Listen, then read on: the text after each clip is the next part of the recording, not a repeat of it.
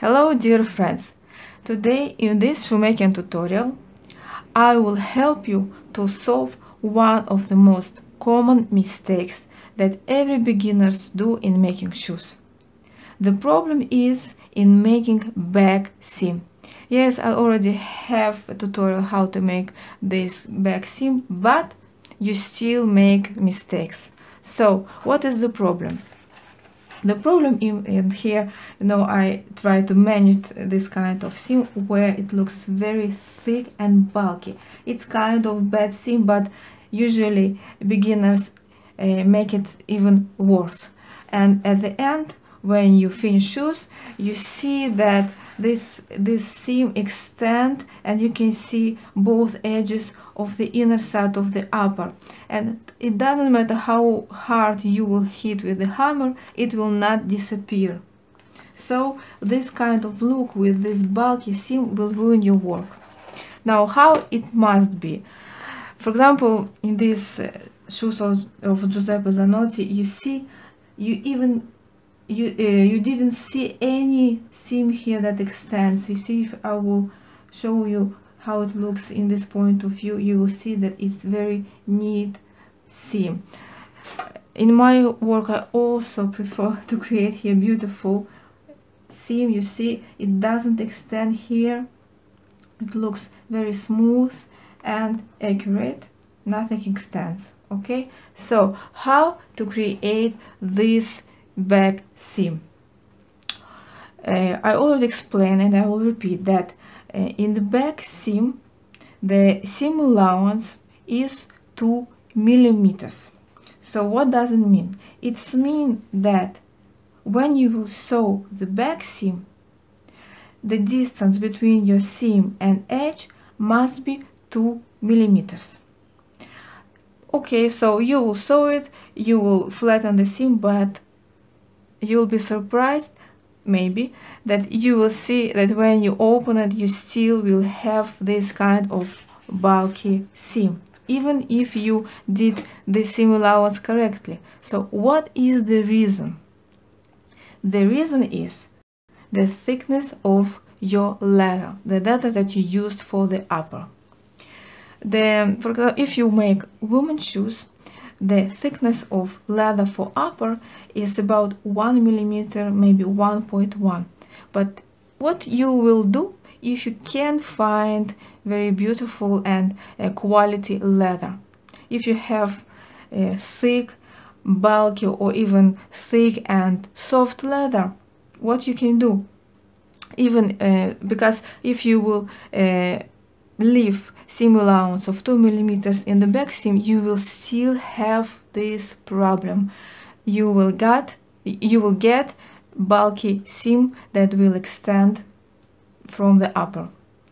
So the reason is the thickness of your leather. So if you can find some beautiful quality leather now I will give you a solution how you can create beautiful accurate seam working even with bad supplies bad leather. So what you can do? I uh, prepared here few examples. For example you see this leather. If you will look in this point of view you will see that is very thick. You see? It's very thick. It's more than one millimeter. You see? It's uh, I made the focus so you'll see it better. You see it's more than one millimeter. So to create here this beautiful back seam you will need to skive it. But it's very important to understand one of the most important details in the skiving of this part of our upper.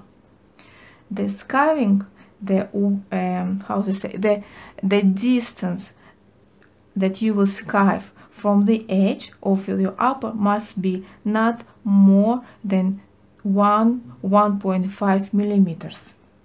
Why? Because if you will skive more you will weaken the seam the back seam. You will skive too much and the, you will reduce the thickness of leather in the back seam and, and as the result the seam will open during it will break or will open during wearing these shoes. So it's very important to skive very thin part of the edge and it must be not more than 1.5 millimeters. And if you think that it's difficult, it's not difficult, it's just a little bit trying, a little bit experience and you will do it. So how to do it? Uh, when you will skive, if you want to not pass this distance of 1 1.5 millimeters, you can mark with a pen line parallel to the distance of the edge. Uh, uh, mark the line in a distance of 1 1.5 millimeters from the edge. And then you will when during during skiving you need to pay attention how you skive to not pass you need skive to not pass this mark okay? So I will do it by eyes right now this line that you will need until which you will need to skive okay you see? And now um, uh, do it on both parts of your upper. Do the same thing on the other side actually uh, when you will do it a few times you will not be need needed to mark it. Okay? Do it a few times before um, do a few examples working with this approach and then you can do it without with this mark on your real upper. Okay? So after you will mark this line you will need to skive and you need to skive working with the beginning of the blade only with the edge. So this is how you will keep this distance. Now uh, I will try to show you so you will see. You see I will start on the edge only. The first small I, I skived a small amount on the corner of the upper. Then I will hold in this place where I skived and will skive the entire edge. So with the edge of the knife only with the edge you see it's this thin part that we now take off from the edge. Now you can compare this area where I skived and other area that is still thick.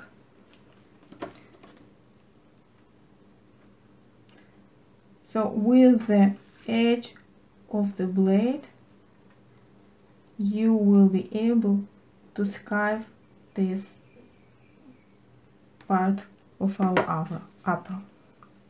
You see now it's very thin. It's not very thin, it's thin, but not too thin.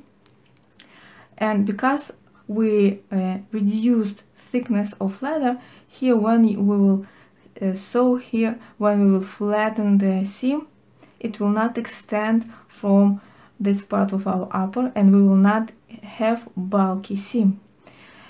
And in the same time, we, we uh, didn't weaken the edge uh, of the leather because we skived beyond the seam, below the seam, okay? Because this thin area will stay beyond the seam and seam will be uh, where we have full thickness of leather, okay? Now do same thing on the second half if you're not sure how much you skive, make one stroke of skiving and check your the thickness of leather that you got. You see here I checked and I see it's enough. And then continue with the edge. You see, with the edge. Now I will try to show you. It's not, it's wrong to, uh, it's wrong position to hold here up, but this is how you will see you see? I skive until the line.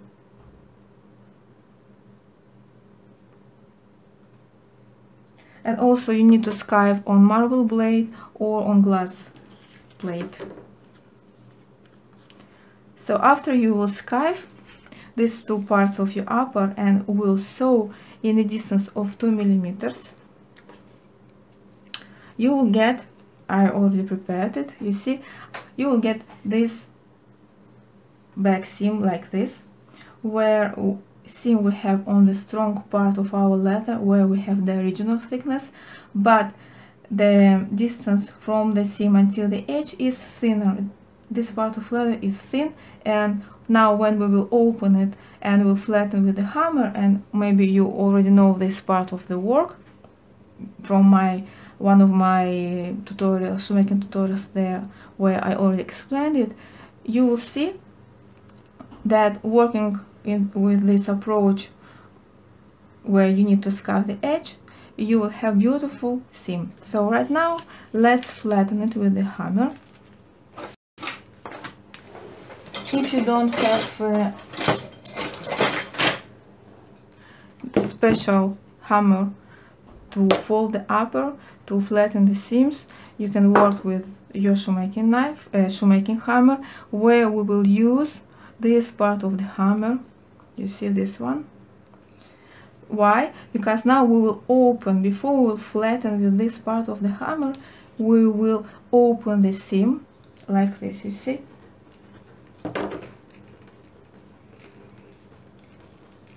work like this push a little bit edge of the hammer so the edge or edges of the upper will open. And you will be able to flatten it and make the surface very flat. And this is what we need. You see I open it with the hammer and now it's very flat. But wait now working with this part of the hammer we will flatten it even more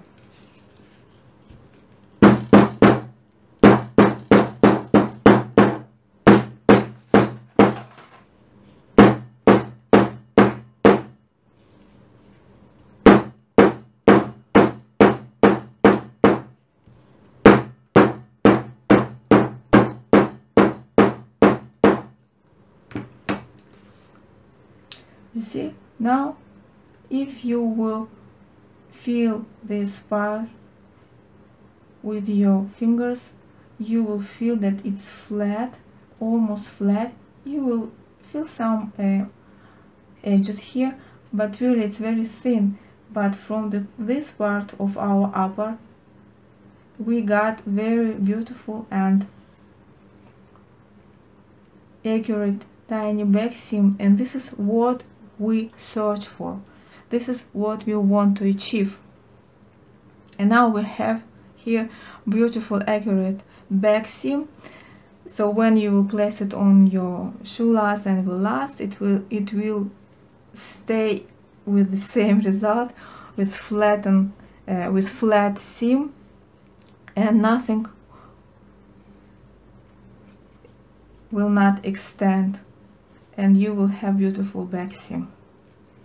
Okay so let's say you will do it you will sew um, here um, you will create here seam in a distance of 2 millimeters. But sometimes you can uh, sew it with the um, not so um, beautiful line.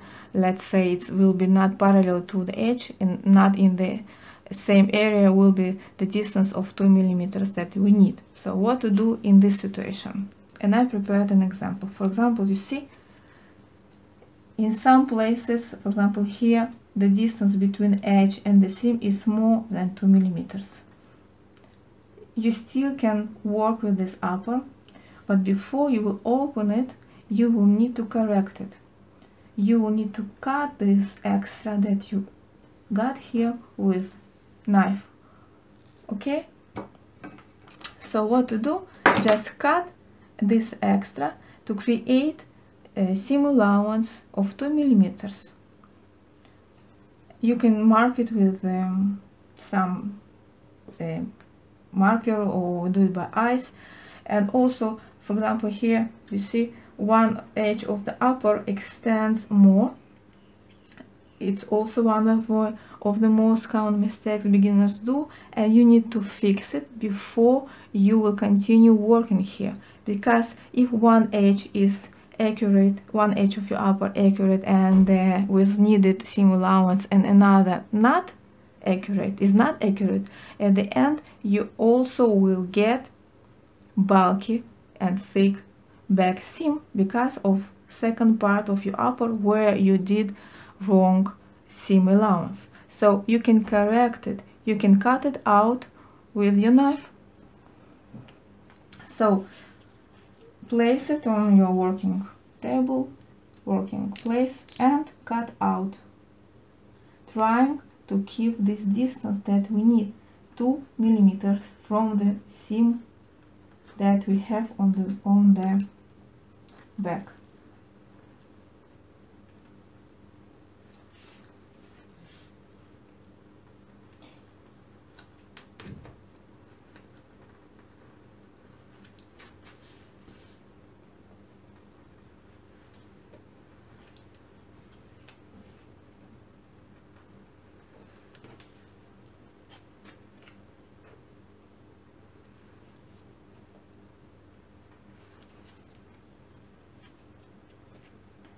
so don't.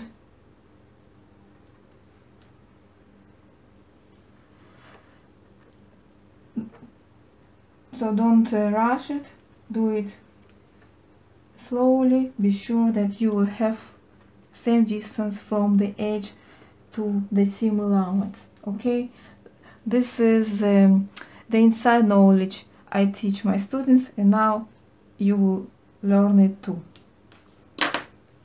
okay after you will fix this uh, part of our upper the edge of the upper and create needed allowance that is 2 millimeters. Continue working that how we did it before with the hammer. Open it with the this part of the hammer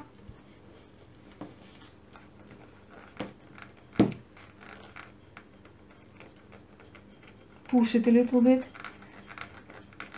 To flatten it.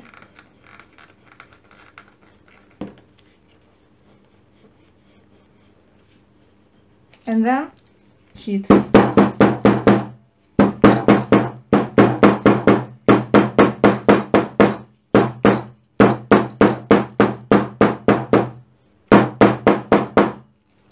so we got same result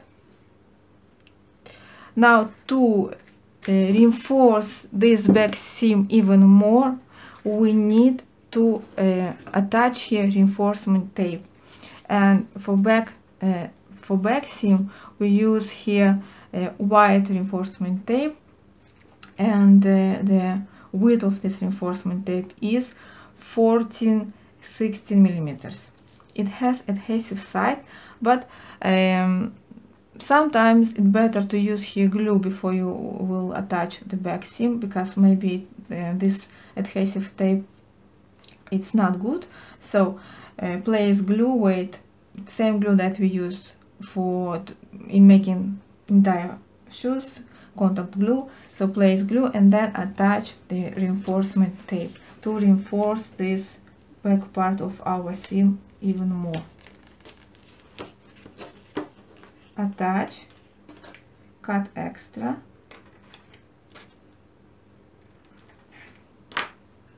And hammer it.